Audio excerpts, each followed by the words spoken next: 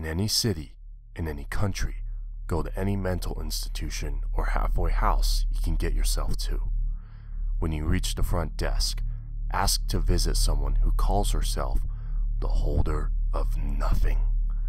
Should a look of sheer primal disgust mar the worker's expression, you will then be taken to a separate building, one that appears to be an old, decrepit wooden outhouse. Inside will be a seemingly endless corridor that far exceeds the length of that outhouse. The corridor will be dead silent.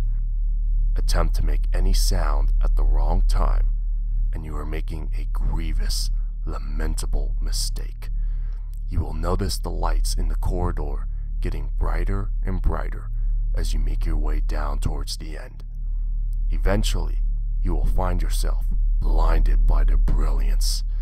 If at any point the lights go out, quickly shout out, No, stop, what you're doing is wrong, while backing away. If the lights do not come back on, bolt for the door you came in through. It should still be open. Hopefully, you aren't far enough down that hallway for it to close in on you. If it does close, an eternity in hell would be preferable to what you will suffer.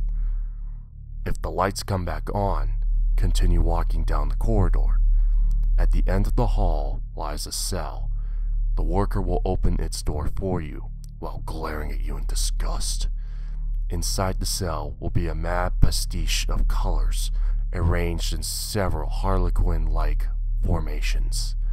You must not be distracted by them, for at the center of the room is a naked young woman, slathered in blood and bound by strips of human sinew, and you will be better off not knowing what will happen if you take your eyes off her face for even a moment. Focus on her and ask, What were they when they were one? She will look at you in the eye and speak the answer in incredible detail. It'll be unlike anything you ever heard, leaving you on the verge of both ecstasy and agony.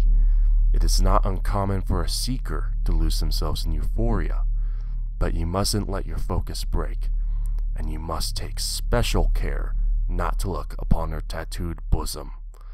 Your mind will tempt you to gaze upon it, but you must resist, for if you fail, she will flay you alive and add your mutilated flesh to her bindings, and you will remain trapped with her, fully conscious, for the rest of time. That tattoo is Object 4 of 538. They desire to be one again, but they mustn't.